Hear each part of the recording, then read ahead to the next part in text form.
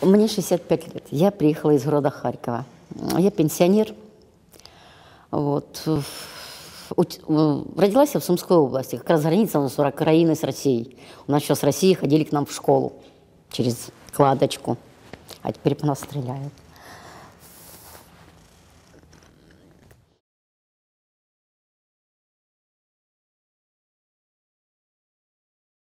Когда началась война, 23-го, мы еще, был уже 23 февраля, был праздник, как бы мы еще пошли в парк Горького, у нас красивый город. Погуляли там, ну, пришли домой, все разошлись домой по домам. Ну, в общем, и, ну, легла спать, а утром проснулась, не пойму, что-то стреляют, тут звонят все по телефону. Ну, я не ожидала, что вообще может быть война. Сейчас. Ну, оказалось, что начала война, вышли на улицу, ну, все выбегают, кто куда, кто кому звонит. Дочка позвонила, сказала, мама, мы едем в бомбоубежище, собирайся с нами. Я говорю, я никуда не поеду, я. Они уехали в бомбоубежище, ну, в Харькове. Я говорю, что-то привезти или что-то принести? А Мария, я здесь пока останусь.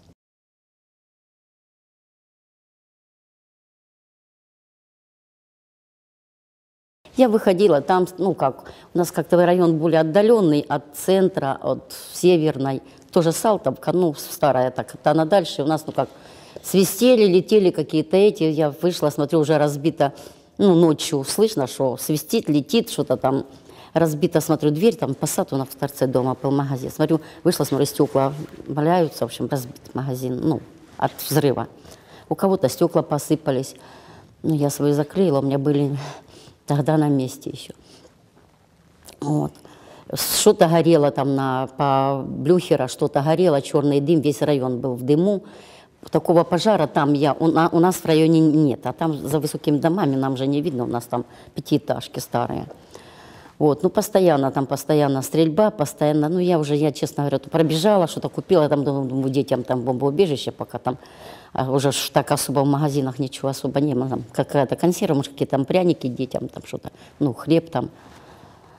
Вот. И это самое. Ну, и потом, а то, что, ну, каждый день, каждый день там целыми днями стрельба, и что-то где-то горит, дым там идет. У нас именно на районе, вот, аж я говорю, то потом снаряд упал перед школой, там, где внук мой учится.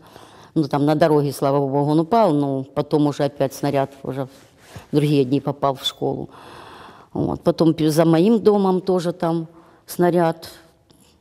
В, вот это а, позавчера, о, несколько дней назад, что там возле дома снаряд упал. Это вот я звонила, просто сказали, что там убило пять человек, женщину беременную, и там, в общем, возле дома нашего. У нас северную больше бомбили вначале, ну, она там уже как Мариуполь. Мы раньше жили на северной, но у дочки там в одной, во второй квартира, тоже в снаряд попал. у старшей там у них, ну да, трехкомнатная была с, ну, с родителями, с мужа. Попал снаряд, но я не знаю, что там с квартирой. А младшие тоже, они взяли кредит как раз перед Новым годом. Купили квартиру, и тоже попал снаряд.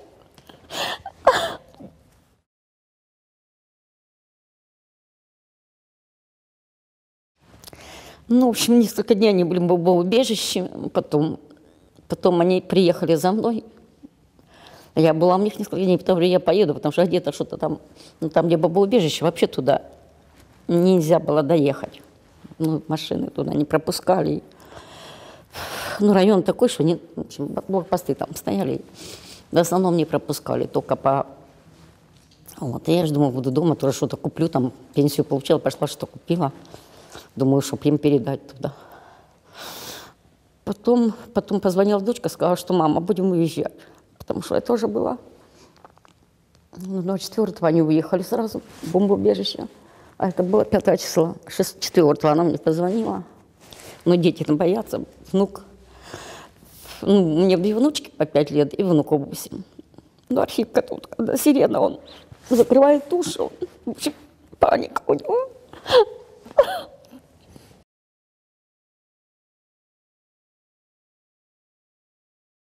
Ну, в общем, они решили уехать. Ну, я уехала с ними. Я на, попутно я доехала до бомбоубежища утром рано, в 6, 6 5, 6. ой, подожди, 5-6 мы уехали. 5 мы уехали, 6 мы были здесь. И решили ехать, ну, мы решили, а, в общем, мы, я доехала на попутных туда, до их бомбоубежища, спасибо людям, что довезли, так просто вот остановила машину, ну, довезли. То туда, потом еще на одной, потом еще на одной. С, с бомбоубежища нас детей отвезли на машинах на вокзал. Вот еще на вокзале, помню, стояли долго очень, там вообще такое было. Все же бежали, все там, там ужас, что на вокзале было. Вот людей столько уезжало много. Еще и погода такая была, снег, дождь. Вот на, на платформе еще фотографии сидят дети на сумках, на этих уже поставили на снег, на, накрыли их пледами. Где-то часов на пять мы сидели еще на платформе, ждали. В это время еще самолеты два как пролетели. Я не знаю, не знаю, только наши это или не наши, это были прямо над этим. Все как шарахнулись к вокзалу. Ну, в общем, ужас, что было. Ну, не бомбили, допустим, не стреляли. Чьи самолеты были, это не знаю, потому что неожиданно просто вот. Мы стоим тут, жух, только вот над, над нами просто.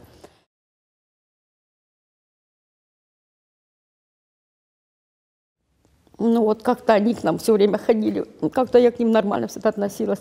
А как они поступили с нашей страной, это просто невыносимо. Заберите своих детей, они вас тоже гибнут здесь. У нас дети гибнут, и ваши дети гибнут, и вы не хотите это прекратить из-за вашего придурка Путина.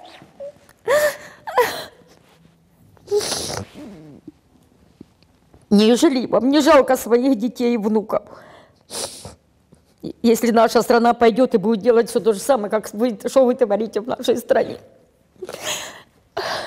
убиваете детей, невидных людей и вообще какие-то же объекты. Это детские сады, школы, это разве объекты какие-то военные? Торговые эти центры, это разве объекты? Парки, парки, зоопарки, это разве объекты военные? Что они бомбят? Зоопарк разбомбили, зверей поубивали. Остановите своего зверя. Сколько же можно терпеть это все?